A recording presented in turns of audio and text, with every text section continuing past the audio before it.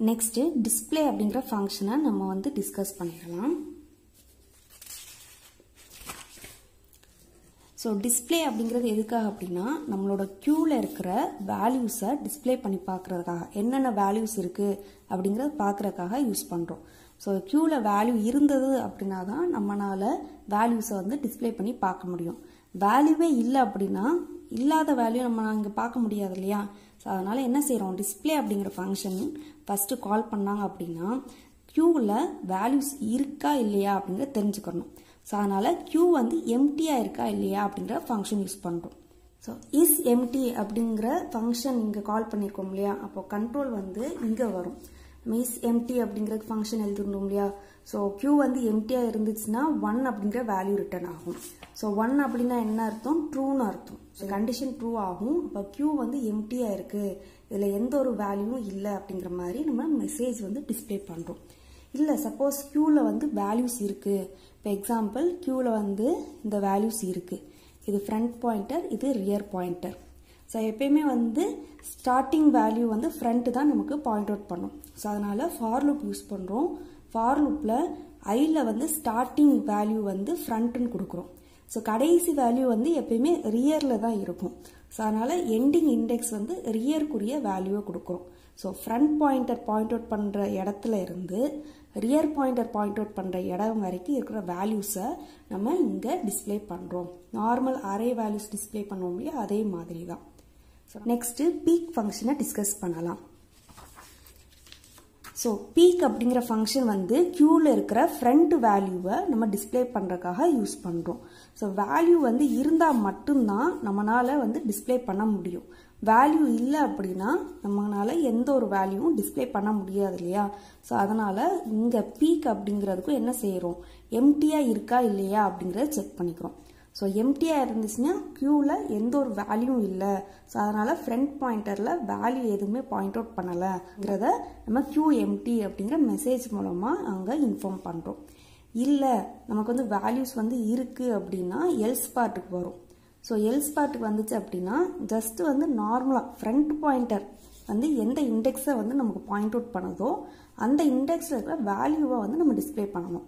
So அரேயோட name வந்து queue so queue of front அப்படின்னு கொடுத்தோம்னா ஃப்ரண்ட்டோட இண்டெக்ஸ் இங்கே சப்ஸ்டியூட் ஆகும். இப்போ க்யூ ஆஃப் ஒனில் இருக்கிற இந்த வேல்யூ நமக்கு டிஸ்பிளே ஆகும். ஸோ இஸ் எம்டி அப்படிங்கிறது நம்ம ஆல்ரெடி ஒரு ஃபங்க்ஷன் இங்கே வந்து டிஃபைன் பண்ணியிருந்தோம் இல்லையா? ஸோ அந்த ஃபங்க்ஷனுக்கு கண்ட்ரோல் போகும். ஸோ இங்கே கண்ட்ரோல் போகும். க்யூ எம்டியாக இருந்துச்சுன்னா ஒன்று ரிட்டர்ன் பண்ணும். இல்லைன்னா ஃபால்ஸுன்னு ரிட்டர்ன் பண்ணோம் இல்லையா? ஸோ அதுதான் இங்கே யூஸ் பண்ணியிருக்கோம்.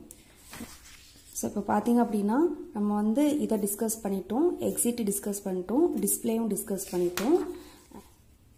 பீக்கையும் டிஸ்கஸ் பண்ணிட்டோம். ஸோ இதில் எல்லாத்துலேயுமே நமக்கு வந்து என்னென்னா ஜஸ்ட்டு வந்து ஃபங்க்ஷன் கால் பண்ணுறோம் ஸோ கண்ட்ரோல் அங்கே போகுது. ஃபங்க்ஷனில் இருக்கிற அந்த ஸ்டேட்மெண்ட்ஸ் எல்லாம் எக்ஸிக்யூட் ஆகிட்டு கண்ட்ரோல் இங்கே வருது இங்கே பிரேக் அப்படிங்கிறத வந்துடுது ஸோ நெக்ஸ்ட் வந்து நம்ம டிக்யூ ஃபங்க்ஷன் பார்க்கலாம். ஸோ டிக்யூ ஃபங்க்ஷன் அப்படின்னா நம்ம வந்து டெலீட் பண்ணுறது அப்படிங்கிறத ஆல்ரெடி டிஸ்கஸ் பண்ணியிருந்தோம். ஸோ நமக்கு வந்து டிக்யூ அப்படின்னாலே ஃப்ரண்ட் வேல்யூ தான் நம்ம வந்து டெலீட் பண்ணுவோம். ஸோ வந்து அந்த வேல்யூ வந்து என்ன வேல்யூ நம்ம டெலீட் பண்ணுறோம் அப்படிங்கிறத ஜஸ்ட் இங்கே டிஸ்பிளே பண்ண போகிறோம் ஸோ அதுக்காக ஐட்டம் அப்படிங்கிற ஒரு வேரியபிள் இங்கே டிக்ளேர் பண்ணியிருக்கோம்.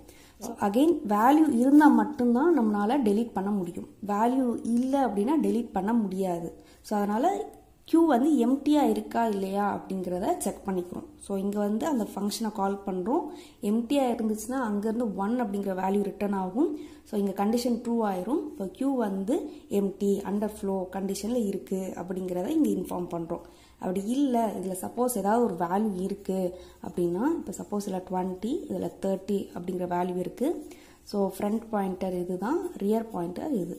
ஸோ நமக்கு வந்து வேல்யூ இருந்துச்சு அப்படின்னா என்ன செய்கிறோம்னா அந்த வேல்யூவை ஐட்டம் அப்படிங்கிற வேரியபிளை ஸ்டோர் பண்ணுறோம் ஸ்டோர் பண்ண ஸோ இது வந்து ஃப்ரண்ட் பாயிண்டர் பாயிண்ட் அவுட் பண்ணுற வேல்யூ அந்த வேல்யூவை ஐட்டம் அப்படிங்கிற வேரியபிளை ஸ்டோர் பண்ணுறோம் நெக்ஸ்ட் என்ன பண்ணுறோம் ஃப்ரண்ட் அப்படிங்கிற பாயிண்டரை நம்ம வந்து இன்க்ரிமெண்ட் பண்ணுறோம் இன்க்ரிமெண்ட் பண்ணால் இந்த இடத்துக்கு பாயிண்ட் அவுட் பண்ணிடும் ஸோ இப்போ இதோட மீனிங் என்னென்னா டுவெண்ட்டி அப்படிங்கிற வேல்யூவை ரிமூவ் பண்ணியிருக்கோம் அப்படிங்கிறது தான் இதோட மீனிங் ஸோ நம்ம வந்து ஃபைனலாக இந்த இடத்துல வந்து அந்த எந்த வேல்யூ ரிமூவ் பண்ணியிருக்கோம் அப்படின்றத ஜஸ்ட் வந்து டிஸ்பிளே பண்ணுறோம் ஸோ டுவெண்ட்டி அப்படிங்கிற வேல்யூ டெலீட் பண்ணிட்டோம் அப்படிங்கிறத இங்கே டிஸ்பிளே பண்ணுறோம் ஸோ இது வந்து டெலிட்கான ஃபங்க்ஷன் நெக்ஸ்ட்டு பார்த்தீங்க அப்படின்னா நம்ம வந்து என்கியூ ஆப்ரேஷன் பார்க்க போகிறோம் ஸோ இந்த இடத்துல என்கியூ ஆப்ரேஷனுக்கு நம்ம வந்து ஃபஸ்ட்டு ஆப்ஷன் சூஸ் பண்ணுறோம்னா வேல்யூ ஆட் பண்ண போகிறோம் ஸோ என்ன வேல்யூ ஆட் பண்ண போகிறோம் அப்படிங்கிறது இங்கே கெட் பண்ணிடும் இங்கே கெட் பண்ணிவிட்டு அந்த வேல்யூவை அந்த ஃபங்க்ஷனுக்கு நம்ம இங்கே பாஸ் பண்ணிடும்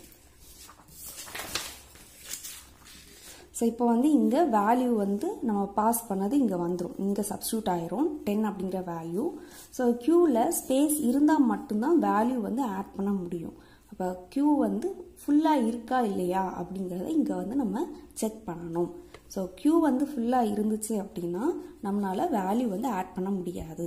அப்படி இல்லைன்னா வேல்யூவை ஆட் பண்ணிக்கிறலாம் ஸோ இது நம்ம ஏற்கனவே நம்ம டிஸ்கஸ் பண்ணியிருந்தோம் இல்லையா? இனிஷியல் ஸ்டேஜில் ஸோ ஃபஸ்ட்டு வந்து க்யூ வந்து எம்டியாக இருக்குது அப்படின்னா ஃபஸ்ட்டு வேல்யூ நம்ம ஆட் பண்ணுறப்போ ரியர் பாயிண்டர் இதை வந்து பாயிண்ட் அவுட் பண்ணிடும் ஆனால் ஃப்ரண்ட் பாயிண்டர் மைனஸ் ஒனில் இருக்கும். ஸோ இப்போ வந்து மீனிங் வந்து மாறிடும் ஃப்ரண்ட் பாயிண்டர் எப்போவுமே வந்து ஃபஸ்ட்டு வேல்யூவை பாயிண்ட் அவுட் பண்ணணும் இல்லையா? ஸோ ஃபஸ்ட்டு டைம் மட்டும் நம்ம என்ன செய்யணும்? நம்ம ஃப்ரண்ட் பாயிண்ட்டை ஜீரோ அப்படின்னு மாற்றணும் ஸோ அதனால் க்யூவில் வேல்யூ ஆட் பண்ணுறோம் அப்படின்னா இந்த ஃபஸ்ட்டு டைமாக இருந்துச்சுன்னா ஃப்ரண்ட்டோட வேல்யூ மைனஸ் ஒன்னு இருக்கும். ஸோ அப்படி இருந்துச்சு அப்படின்னா அதை ஜீரோ அப்படின்னு மாற்ற சொல்கிறோம் மாற்றினதுக்கப்புறமா ரியரோட வேல்யூவை இன்க்ரிமெண்ட் பண்ணுறோம் ஸோ இன்க்ரிமெண்ட் பண்ணோம்னா இந்த ஜீரோ அப்படிங்கிற பொசிஷனுக்கு வரும். ஸோ அதில் நம்ம என்ன பண்ணுறோம்னா அந்த வேல்யூவை நம்ம இங்கே சப்ஸ்டியூட் பண்ணுறோம் ஸோ இங்கே வந்து அந்த வேல்யூ ஆட் ஆயிரும். ஸோ ஜஸ்ட்டு வந்து இந்த வேல்யூ ஆட் பண்ணியிருக்கோம் அப்படிங்கிற மெசேஜை இங்கே டிஸ்பிளே பண்ணுறோம் இதே இது செகண்ட் டைம் நம்ம வேல்யூ இப்போ டுவெண்ட்டி அப்படிங்கிற வேல்யூ வந்து நம்ம ஆட் பண்ண போகிறோம் அப்படின்னா நெக்ஸ்ட்டு வந்து இங்கே வரும். ஃப்ரண்ட்டோட வேல்யூ இங்கே ஜீரோன்னு தான் இருக்கும். அப்போ இது எக்ஸிக்யூட் ஆகாது. ரியரை இன்க்ரிமெண்ட் பண்ணுவோம். இப்போ ரியர் இந்த இடத்த பாயிண்ட் அவுட் பண்ணும். நெக்ஸ்ட்டு டுவெண்ட்டி அப்படிங்கிற வேல்யூவை கியூ ஆஃப் ரியர் அதாவது இந்த செகண்ட் பொசிஷனில் நம்ம வந்து ஆட் பண்ணுவோம். ஸோ இப்போ எல்லா கேசஸும் டிஸ்கஸ் பண்ணிட்டோம். இது எல்லாமே கம்ப்ளீட் பண்ணிட்டோம். ஸோ நமக்கு வந்து ஒவ்வொரு டைம் ஃபஸ்ட்டு டைம் இந்த மெனு ஆப்ஷன்ஸ் எல்லாம் காமிக்கும். நம்ம ஒரு ஆப்ஷன் சூஸ் பண்ணுவோம். சூஸ் பண்ணதுக்கப்புறமா நமக்கு அந்த ஆப்ரேஷன்ஸ் வந்து எக்ஸிக்யூட் ஆகிருக்கும் ஸோ எக்ஸிக்யூட் ஆனதுக்கப்புறம் யூஸ்வலாக அந்த அவுட்புட் வந்து நம்ம வியூ பண்ணி பார்க்குறதுக்காக கெட் சிஹெச் அப்படிங்கிறத கொடுப்போம். ஸோ இது வந்து நம்ம அடுத்து கீபோர்டில் எந்த ஒரு கேரக்டரை வந்து ப்ரெஸ் பண்ணுற வரைக்கும் அது வந்து வெயிட் பண்ணிகிட்ருக்கோம் ஸோ அதனால் நம்ம வந்து அவுட்புட்டை வந்து பார்க்கலாம்.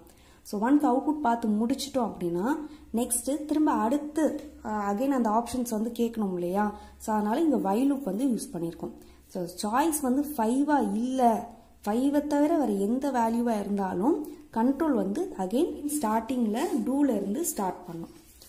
ஸோ நெக்ஸ்ட்டு இப்போ வந்து நம்ம ஒரு ஆப்ஷன்ஸ்லாம் டிஸ்பிளே ஆயிடுச்சு இல்லையா? அதுக்கான ஃபங்க்ஷன்ஸ்லாம் பார்த்து முடிச்சிட்டோம். திரும்ப ஃப்ரெஷ்ஷாக அந்த ஆப்ஷன்ஸ் எல்லாம் நமக்கு டிஸ்பிளே ஆகணும் அப்படிங்கிறதுக்காக இந்த இடத்துல ஒரு கிளியர் ஸ்க்ரீன் ஸ்டேட்மெண்ட் யூஸ் பண்ணியிருக்கோம்.